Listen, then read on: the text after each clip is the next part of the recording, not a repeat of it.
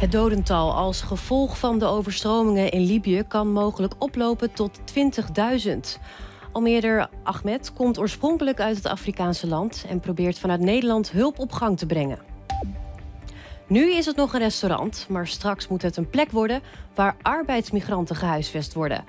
Omwonenden van restaurant Boerkok in Lelystad zijn niet blij met die plannen. En ze was al twee keer de sterkste vrouw van Nederland. Ik heb het over Patricia Smit uit Lelystad. Komende zondag hoopt ze de titel opnieuw binnen te slepen. Het is donderdag 14 september. Dit is Flevoland.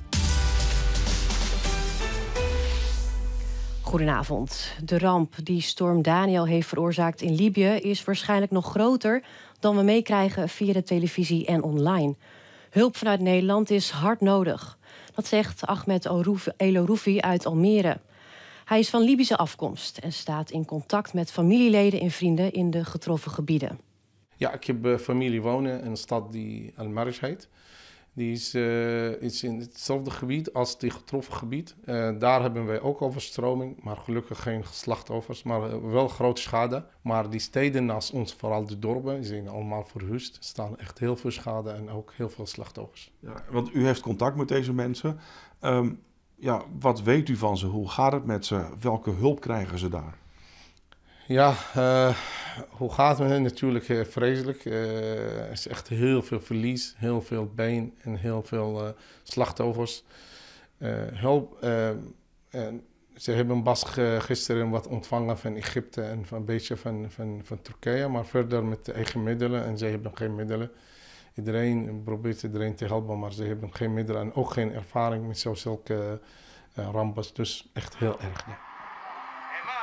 Want afgelopen weekend was er een bijeenkomst in Weesp. Die heeft u met een paar andere mensen georganiseerd voor de Libische gemeenschap in Nederland. Um, maar toen die bijeenkomst was, was er toen al sprake van deze ramp? Nee, toen, toen, toen, toen was wel sprake van die storm. En, maar, maar had niemand verwacht dat het zo erg zou zijn.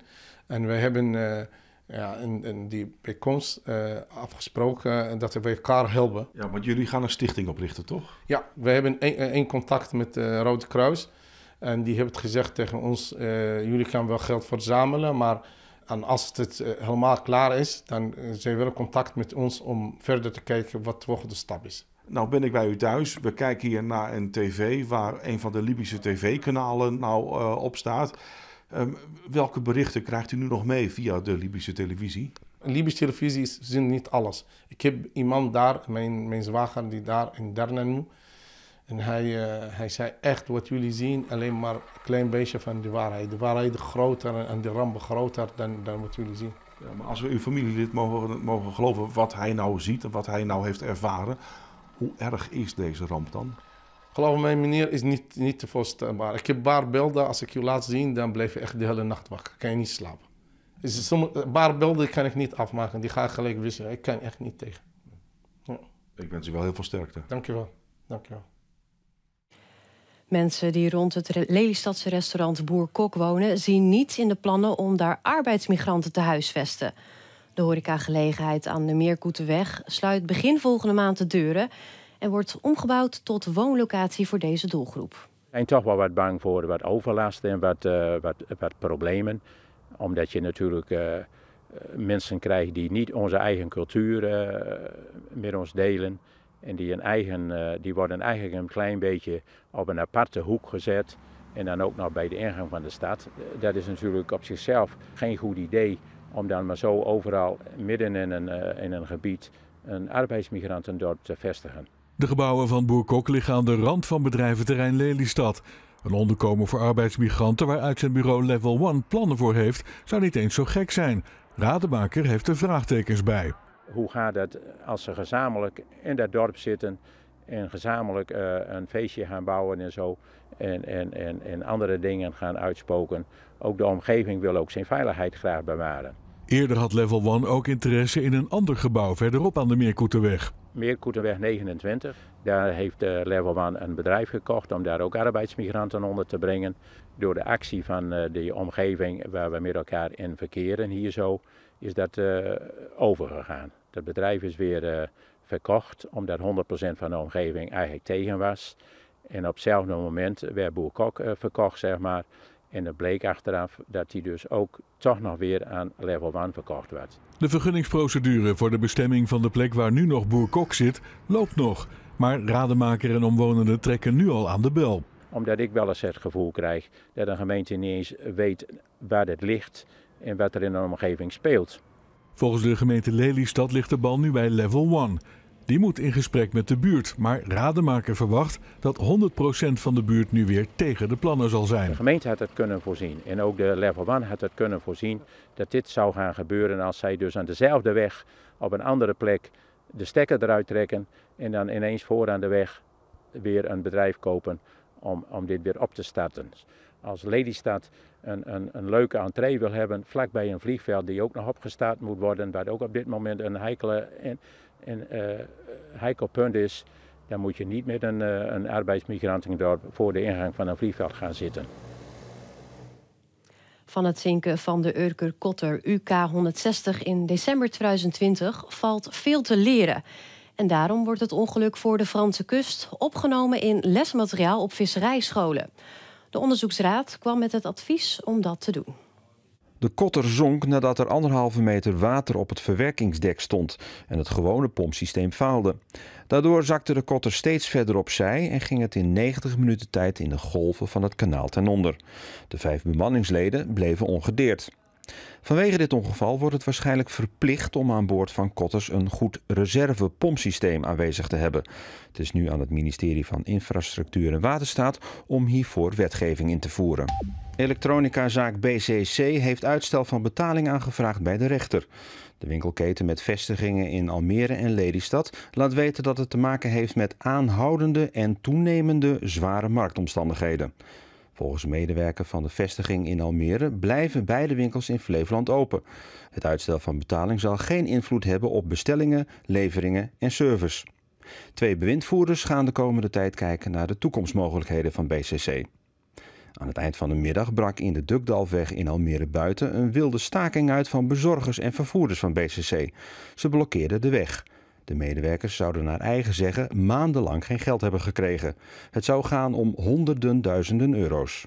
Tegen een 38-jarige vrouw uit Almere is drie jaar cel en tbs geëist voor poging tot doodslag. De vrouw zou vorig jaar mei een moeder en haar zoon met een mes in hun nek hebben gestoken. Dat gebeurde in de Allendestraat in Almere stad. De vrouw ging langs bij haar ex en zou daarna een conflict een man in zijn nek hebben gestoken. De moeder van het slachtoffer kwam naar buiten met een bezemstok om de verdachte te slaan. Ook zij werd vervolgens in haar nek gestoken. De slagaders van beiden werden op een haar na gemist. De rechter doet over twee weken uitspraak. Almere is een nieuwe broedplaats voor kunstenaars rijker. En dat is ook hard nodig, want de oude broedplaats, de Paal in Almere Haven, wordt op termijn gesloopt voor woningbouw. De nieuwe stek is te vinden in het hartje van de stad. Twee kunstenaars hebben er inmiddels hun intrek genomen en ze zoeken nog collega's. Hallo, goedemorgen. Goedemorgen. Uh, welkom bij uh, Broedplaats in Wording Zakenborg. Ja. Uh, ik ga jullie even een kleine rondleiding geven. Nou, hier is onze gang, zeg maar. Hier op de bovenste verdieping van dit pand aan de Spoordreef is de nieuwe broedplaats gevestigd. Nou, dit is eigenlijk een kantoorgebouw. En daar heeft ook een korte tijd denk ik een school in gezeten.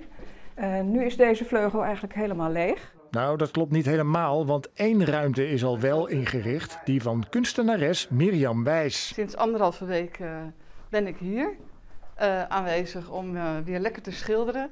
En wat maak jij? Ik maak voornamelijk olieverfschilderijen. Het is allemaal nog heel nieuw. heel nieuw. Hoe voelt het?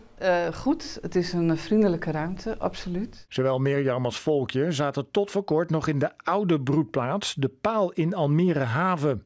Maar een gebrek aan perspectief deed de dames besluiten om daar weg te gaan. De paal was uh, erg uh, mooi en leuk en gezellig, maar wat somberder. Je had zelf het idee van ik moet nu weg. iets anders gaan zoeken. Ja, ja. En ook die garantie van de, uh, om te kunnen blijven daar, die was er niet meer. En die garantie is er aan de spoordreef wel. Voor in ieder geval de komende jaren is de broedplaats verzekerd van onderdak. Dit is, wordt mijn ruimte.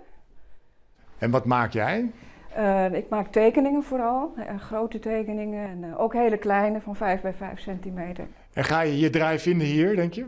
Ja, ik weet het zeker. Een geweldige plek. En mooi uitzicht, hè? Ja, we zitten op de vierde verdieping, dus uh, je kan over het hele stuk van Almere uitkijken tot aan het Beatrixpark. is echt heel mooi. Maar een broedplaats is pas een broedplaats als het broeit van de kunstenaars. En dus zijn de dames nog op zoek. Hoeveel mensen zoeken jullie? We denken aan 7, 8, misschien wel 9 kunstenaars. Moeten mensen veel betalen? Of? Het is niet goedkoop mm -hmm. en het is ook niet exorbitant duur. Het enige wat ik kan zeggen is, uh, ga onderhandelen met de eigenaar. Dat is een goede tip. Ja. ja. want er is nog wat speelruimte. Er is altijd ruimte. SV Urk staat na vier duels op een mooie tweede plaats in de derde divisie A. Ja, je mag dus zeggen dat de voetballers het seizoen sterk zijn begonnen. Maar de trainer denkt daar toch even anders over. Met name in balbezit. Ik denk dat uh, ja, 80% van de trainers 80% alleen maar over balbezit praat. En zo, nou, dat is eigenlijk bij ons ook zo. We praten heel veel over balbezit. Wat willen we als we zelf de bal hebben? Uh, daar doen we onderdelen goed van. Maar ook heel veel onderdelen zijn we gewoon niet, niet goed genoeg nog om uh, wedstrijden te domineren. Uiteindelijk vind ik dat de kwaliteit van, van, van het voetbal omhoog moet. Wat uiteindelijk uh, gaat bijdragen dat, we, dat de kans groter wordt dat we gaan winnen. En daar gaat het om, dat we stabieler worden. Uh, waardoor we zeg maar, ja, wat makkelijker onze wedstrijden gaan spelen. SV Urk pakte de eerste punten tegen Dem, Odin, Sparta Nijkerk en Staphorst. Dat is op papier, als je kijkt naar alleen de stand, een goed begin van de competitie. Hartstikke mooi. Uh, iets waar we voor de tijd geen rekening mee hadden gehouden. Maar uh, ja, mooi dat we staan natuurlijk. Kijk je daarna, naar die stand? Ja, natuurlijk, punten zijn belangrijk. Alleen op dit moment in de fase waarin we zitten is het belangrijk hoe we die punten pakken. En uiteindelijk, ja, het is, het is altijd lekker om de punten te pakken natuurlijk. Alleen, uh, ja, we, zijn met iets bezig. We hebben een nieuwe trainer. En als je kijkt bijvoorbeeld naar afgelopen zaterdag en uh, de mensen die niet in stappers waren en de samenvatting hebben gezien, die hebben allemaal wel kunnen zien dat we daar uh, best wat geluk hebben ge gehad bij Staphorst. Een goede start dus, net als vorig seizoen. Maar Urk zakte toen na een sterke start snel weg. Nou, toevallig uh, hadden we het er gisteren al over. Alleen uh, ja, dat, dat, dat, dat kun je zien als een incident, uh, denk ik, wat er vorig jaar zich heeft afgespeeld. En ja, wij gaan er alles aan doen. En de trainers hadden er ook nog vol vertrouwen. dat, gaan wij, dat gaat ons niet overkomen en niet met deze groep. Dus ja, daar, daar zijn we niet zo bang voor dat dat nog een keer gaat gebeuren. Ja, hoezo niet dan? Wat moet er dan gebeuren om dat niet ja, te laten gebeuren? Zorgen dat je komende zaterdag van VWSB wint. Dan is dat hele verhaal wat jij nu aan mij zit te vragen, is dan van de baan. Patricia Smit uit Lelystad wil zondag bij het NK Sterkste Vrouw in Friesland haar titel verdedigen. De Lelystedelingen was ook al de beste in 2018 en 2022. Maar het zal dit jaar een flinke uitdaging zijn om haar titel te prolongeren, want de krachtpatser kampt met een blessure. Ja, het is wel ergens een, een kleine zorg, maar uh, ja, we gaan er gewoon weer voor de volle 100% voor natuurlijk. Want wat is het uh, probleem? Waar zit het probleem? Het zit in de knie. De knie is pijnlijk, loopt elke keer vol met vocht en uh, ja, dat beperkt je gewoon. De tweevoudig Nederlands kampioene barst van het zelfvertrouwen, maar Smit ziet de concurrentie wel steeds dichterbij komen. Ik voel me nog steeds niet heel erg beangstigd. Maar de, de, ja, er zitten dames echt goed uh, achter mijn kont aan. Maar dat is ook goed voor de sport. Daardoor uh, word ik uitgedaagd, de sport wordt uitgedaagd. En dan uh, kunnen we misschien allemaal internationaal eens goed gaan doorvliegen. Het NK wordt dit jaar gehouden in het centrum van Ernewald in Friesland. Ja, het is een heel leuk, klein, gezellig plaatsje, Ernewald. En uh, wij hebben daar de parkeerplaats tot onze beschikking. Met twee grote tribunes. Dus er is ook plek voor iedereen, gratis entree. En uh, ja, je kan eventjes om het hoekje naar de IJsselon, naar de visboer. Superleuk, supergezellig. En met zulk weer zal het zeker wat gaan worden. Tijdens het Nederlands kampioenschap worden zes onderdelen afgewerkt. Smit hoopt ze allemaal te winnen. Ik ga sowieso altijd voor de volle 100% en voor de absolute winst. Want anders vind ik dat je niet mee moet doen. Maar that's me. Ja, ik uh, ga toch eigenlijk wel weer voor 6 uit 6. En als ik dan ergens me druk om moet maken, is het dan de joke. Dus laten we dan zeggen 5 uit 6. Daarmee word ik wel uh, kampioen en verdedig ik de titel. En pak ik de derde ook. Ja. En hoeveel uh, concurrenten gaan er van start samen met jou? we starten met z'n twaalfen. En ik hoop ook dat we aan het eind van de dag met z'n twaalfen weer eindigen. Ja, en dat er maar eentje het podium opstormt. Ik ga ervan uit dat ik er ben. Nu het weer voor de komende dagen met Robert de Vries. En wil je meer nieuws? Ga dan naar onze website of bekijk het laatste nieuws in onze app. Voor nu wens ik je een fijne avond en graag tot morgen. Dag!